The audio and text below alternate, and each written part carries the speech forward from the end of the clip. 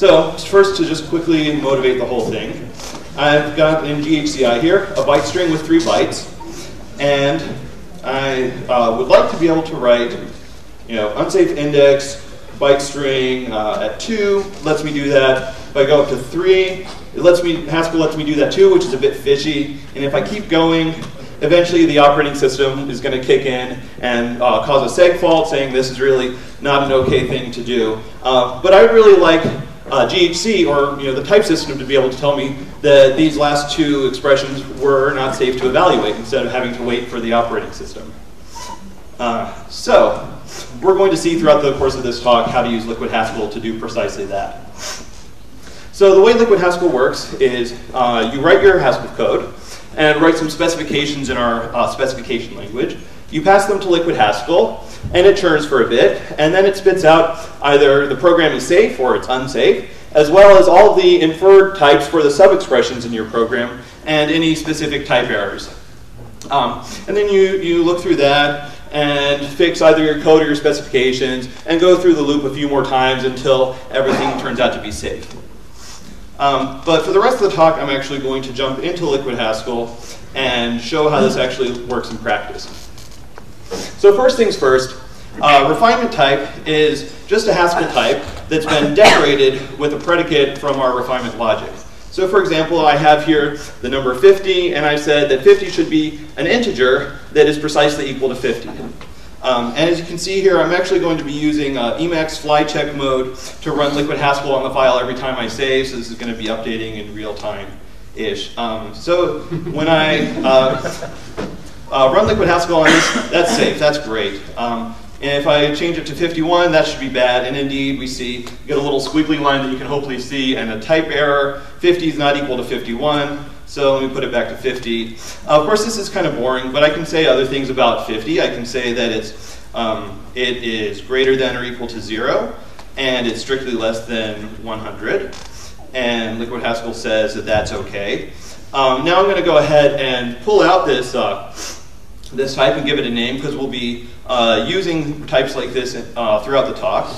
Uh, so specifically, I'm going to define a type called range, which takes a lower and an upper bound, and it describes the type of the set of integers that are greater than the lower bound uh, and less than the high, uh, the upper bound. And now I can come back here, replace this large thing with uh, 50 has type range 0, 100, and again, you know, that's okay, but you know, obviously 500 outside of the range. So that's a really simple refinement type. Um, we can describe uh, contracts of functions by refining the input, um, the input parameters and the output parameters with pre and post conditions respectively. So here's another simple function called uh, calling range that uh, is supposed to just create you know, a list of numbers between the, the lower bound and the upper bound. Um, and so I want to actually say that it should, it should do that. So uh, low is going to be an integer. We have an, an, upper bound called high, which is also an int, and we'll go ahead and say that it should be greater than or equal to low. Uh, and this thing should return a list of range low, high.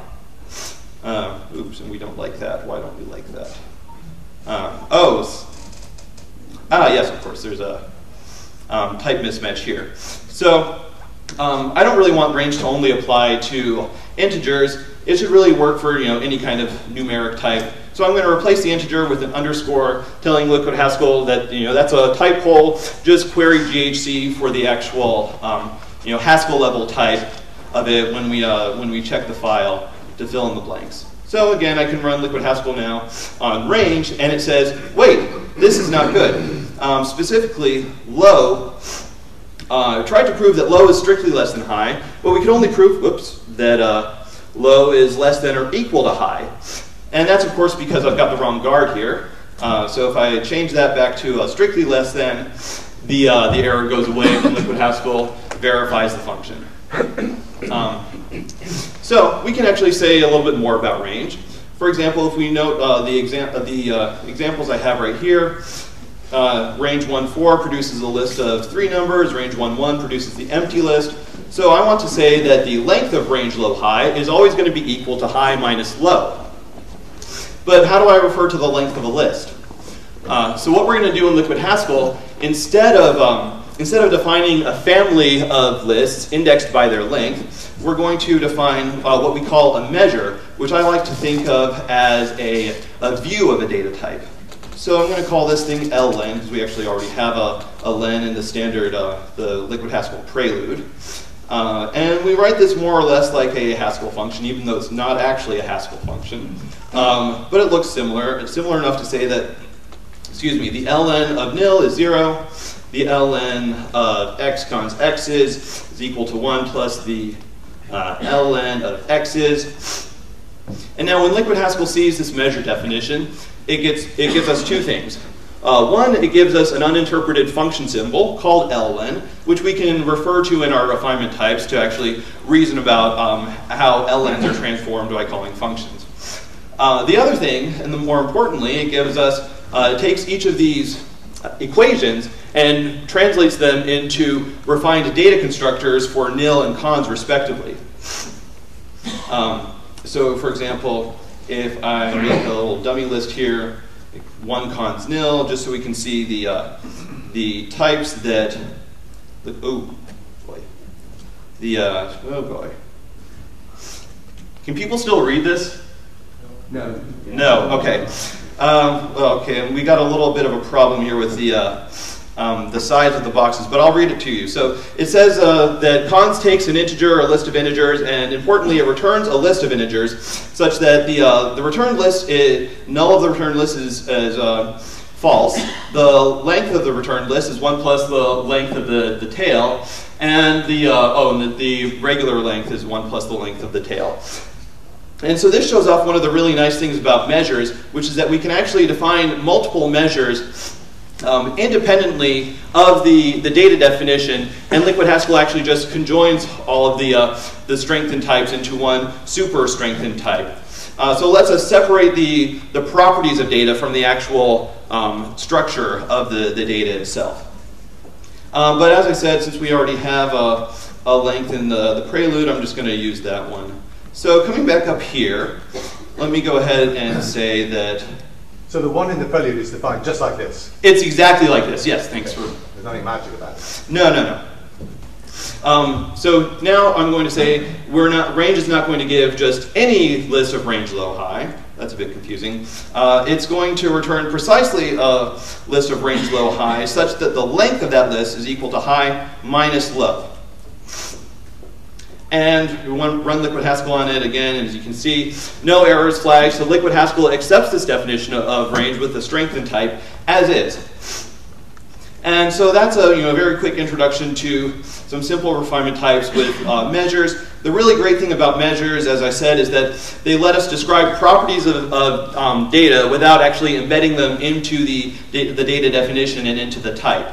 And I think that that's uh, really useful. But sometimes you actually do want to embed the, uh, the property into the type so you can have a, uh, an invariant that should hold over every instance of the type. Uh, for example, if you have a, a, type of CSV tables, we might want to say that the, uh, uh, the length of each row should be precisely the length of the, uh, the header row, which I've called calls here. So I can actually refine the data definition itself using Liquid Haskell.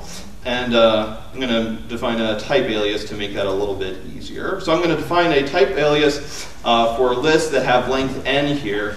And uh, so this is just list of A such that the length of V is equal to n.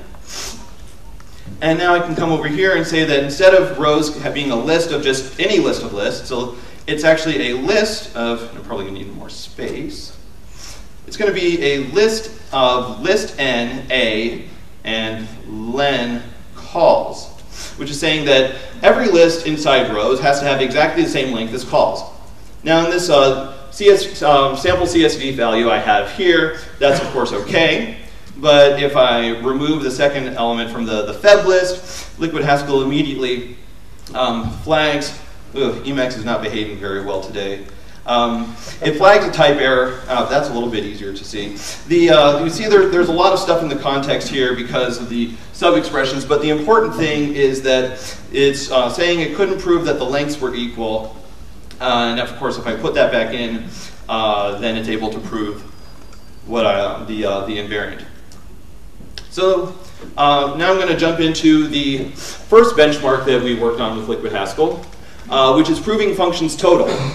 So I've got uh, the, the, standard definition of head here without like an explicit error case, and Liquid Haskell has already flagged it as bad. And it says that it tried to prove you know, something, something to do with false. Uh, and precisely what's going on there is that when, uh, when GHC translates the, the actual Haskell definition into its internal core representation, uh, it translates all of our partial pattern matches into total pattern matches with uh, various uh, error functions inserted in uh, for the undefined cases. For example, in this case, it, I think it uses pat error.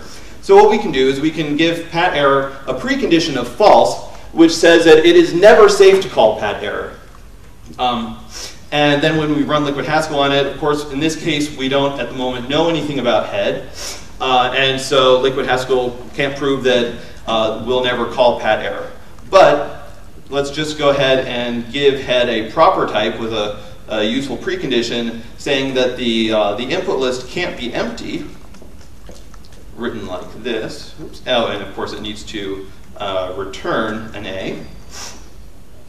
And now when I rerun Liquid Haskell, it's all okay. And uh, the reason this works is because when we come into this pattern match, and come to the, the nil case in particular, we know based on the precondition for x's that it has to have length greater than zero. But based on the pattern match, we know that it has to have length equal to zero. And there's our contradiction, so therefore this case can't ever happen. Um, but now for a more real-world example of uh, proving totality, let me uh, jump into HsColour, which is a library for colorizing um, Haskell code. Uh, and this is some function from the uh, uh, inside HsColour that does something to do with um, parsing nested comments. And again, Liquid Haskell has flagged it as a bad function because it's, uh, it's partial. Specifically what's going on here, if we take a close look, we can see there are a bunch of cases uh, with a non-empty list and n is greater than or equal to zero, and then one case where n is anything and the list is empty. So we're missing a case where, the, um, where n is negative and uh, the list is non-empty. But it seems that, that n is referring to the nesting depth of the comment. So it doesn't really make any sense to have a negative nesting depth. So I'm going to go ahead and say that, um, that we should only ever provide natural numbers to nest comment. And again, I'm going to use these uh, type holes to leave out the types for the, uh, for the other parameter and the return value because I don't actually have anything interesting to say about them at the moment. Um, and so now, immediately Liquid Haskell says that this function seems okay again. Uh, but note this doesn't come for free. Now every time we call a nest comment, we have to prove that the first parameter is going to be greater than zero. In particular, uh, this case right here, uh, where we call nest comment with recursively with n minus 1, uh, we have to prove that, that uh, n minus 1 is still greater than 0, but of course that's true because we have this helpful guard here saying that n should be greater, strictly greater than 0. Um, you might notice that we have two where clauses and a let, a let, a, um, let in clause here. If that seems a little strange, ask me about it at the end of the talk or in the hallway. There's actually a, a fairly interesting answer um, to why that happens, What or the- why, why we've written it that way. What are the yellow question marks? Oh, the yellow question marks are, that's something else from FlyCheck. That's like, um, I think that's HLint running. So it has nothing to do with Liquid Haskell. Um, so now, uh, I'm running out of time, but I really want to show you uh, byte string because that was the motivating example, and we're going to, uh, to show oops, memory safety in byte string. So first of all, a byte string consists of a pointer to a region of memory, an offset into that region, and a length. And the crucial invariant that we want to ensure um, for every, uh, every instance of byte string is that the sum of the offset here and the length should never exceed the length of the pointer. And now by the length of the pointer, I mean the, uh, the number of bytes that are addressable from the current location the pointer is pointing to. Uh, we can't compute that, but we can, defi we can define a measure that will let us refer to it uh, in our types. And we've called that fplen. It's also in the, the standard uh, liquid Haskell prelude. Uh, the thing about it is that we, uh, of course, we can't define any, we don't have any equations for this, uh, so we don't get refined data constructors, which means that we actually have to assume a few things about functions that manipulate foreign pointers. Uh, in particular, we have to assume that malloc does what you would hope it does and returns, you know, given some number n, it returns a pointer to n bytes of memory. But if we're okay at making that assumption, we can go ahead and start creating some byte strings manually. And you see, if I allocate five bytes and return a byte string with length 5 and offset 0, that's okay. If I try to uh, return a byte string with length 6, that's not okay because 6 is greater than 5. And I can say, you know, return a byte string with, with length 3, but offset 2. 2 plus 3 is equal to 5, so that's still okay. But if I say 2 and 4, that's not okay. Um, so this seems pretty nice, but of course no one actually creates byte strings like this except for deep inside the library itself. Um, instead, they, um, the authors have provided a higher order function called create that does all the heavy lifting. So you give create um, the number of bytes you want to allocate and a callback function to actually fill in the blanks. And uh, create allocates the memory and then calls the callback function. And uh, already Liquid Haskell is complaining about L because we haven't told anything about it. In particular, it, um, in order for the malloc call to be safe, we have said that it has to be greater than zero. So I'll go ahead and fill that in. So create is going to take um, an L, which is a nat, oops, capital nat, uh, and it's going to take some callback function, which is gets a pointer uh, word 8 and does some stuff in the IO monad.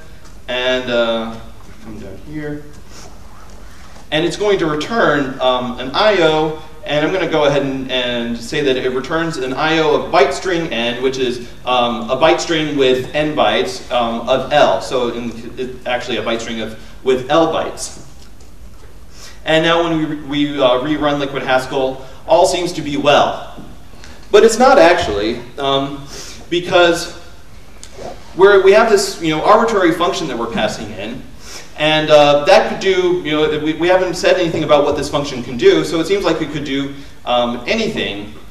And uh, so in fact, using this definition, this type for create, uh, Liquid Haskell decides that it's not actually safe to do anything with the, uh, the pointer that the callback function gets uh, because we have provided uh, a, a, specification for poke here, which does the actual writing into memory, that says that the, uh, the pointer that you're trying to write to has to have a length of uh, strictly greater than zero, which means you have to have at least one byte addressable in order to safely write to that location.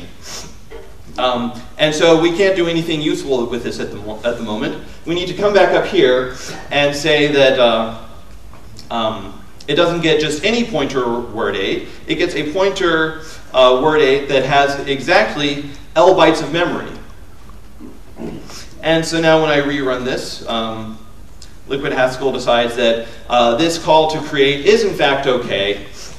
Um, but if I instead, increment, instead of incrementing the pointer by 4, increment it by 10 and then try to write that location, given that I've only allocated 5 bytes of memory, it is not safe to, to do that. Um, okay, and now this is actually all we need to do in order to prove that uh, the pack function is memory safe. Um, and I'm going to go ahead and give it a type. Uh, so pack takes a list of word 8s and it returns a byte string n, so having uh, of len s. So that means it, a byte string uh, with the same number of bytes as there were words in the, uh, the list that we passed to it. And Liquid Haskell can actually prove that, uh, that pack is memory safe and has this, uh, this uh, specification all on its own without any further annotations from the user, which is really great. Uh, and now really rushing to, uh, to wrap this up, uh, we have unsafe index, which was how we were indexing into it.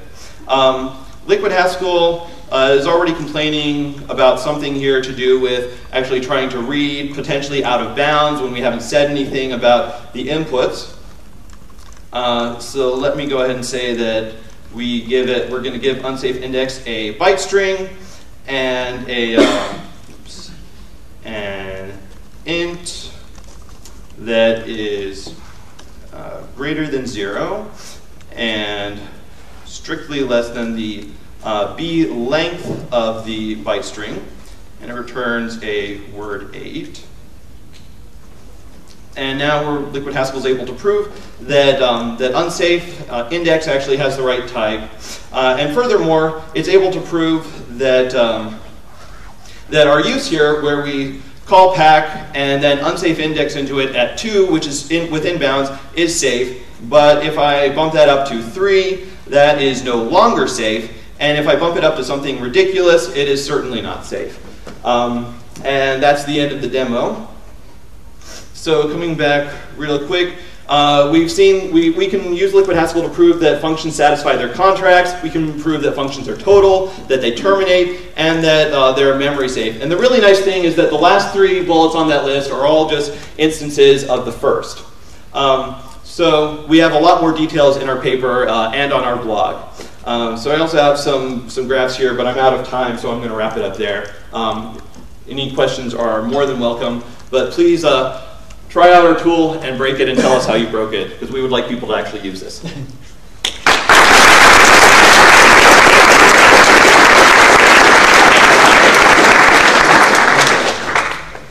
Can you uh, send us the patches for, for ByteString to actually add these annotations into the, the real library? Yeah, um, we should definitely do that. Uh, so I didn't get to talk about like a lot of our uh, versions are a bit older than the standard library, so we'll have to do some uh, rework to make sure we address any recent changes. But yeah, we should definitely do that. So you've shown us. Oh, sorry. Um, okay. Um, you're doing stuff that's like close to I/O, but um, I can't really imagine how these liquid types would look like if I were to say something about the content of an I/O, IO ref that might change over time. Um, do you support that anyway, or is it just not there yet? It's not there yet. Yeah. Uh, we, we're interested in trying to address things like that and actually have some kind of story about stateful computations, but we don't have it yet. So um, you had uh, kind of one non-example where it couldn't figure something out, and then the constraints are, were pretty big. Um, is it hard to debug this stuff, or do you get used to it? Uh, uh, yes and yes. uh, it, it, can definitely be a, a, tricky thing to, to get used to because it does infer the strongest possible types for all the sub-expressions, and especially when you when you end up with a, a large context, it can get kind of um, overwhelming. Um, but one of the things that I've found uh, really helpful that Liquid Haskell does is, in addition to, um, it doesn't just you know dump dump out like a, a set of um, type binders. It actually we actually uh, annotate the source code uh, dump out an HTML file with uh, using hscolour, and then insert JavaScript pop-ups so you can uh, hover over all the, the sub expressions and see what type we inferred. And uh, I've like personally, I found that invaluable when I was working through text in particular. Um, the other thing that we're, we're looking into in terms of trying to, uh, to ease the, uh, the, like the reasoning about what's actually going on when Liquid Haskell can't prove something is we're, uh, we're looking at trying to, uh, to generate specific counterexamples um, by just generating a whole bunch of tests that satisfy the preconditions and then you know, see if we can find a, an empirical case where it fails. One last question. Uh, so, so you define your, your measure function in, in, a, in this funny comment. Mm-hmm. Could you have defined it as a, as a Haskell function and then said, use this Haskell function as the measure? Not at the moment. Um, so one thing I probably wasn't uh, quite clear enough about is that uh, measures, like I, I, think I did say that they are they are not Haskell functions. Um, but you can sort of think of them as a very very restricted subset of inductively defined Haskell functions, where you have one equation um, that uh, one equation per data constructor, and you can only pattern match on one uh, data constructor because we are uh, translating this into, directly into uh, refined types for the data constructors. Um, so you can, but as you saw, especially with length, the definition looks identical to the actual Haskell definition of length. So one thing that we are interested in doing is trying to identify, uh, you know, a subset of actual Haskell functions that we could just, you know, treat as measures. But we haven't done be, that yet. That'd be nice, I think. Yeah, yeah, I agree. Let's thank our speaker again.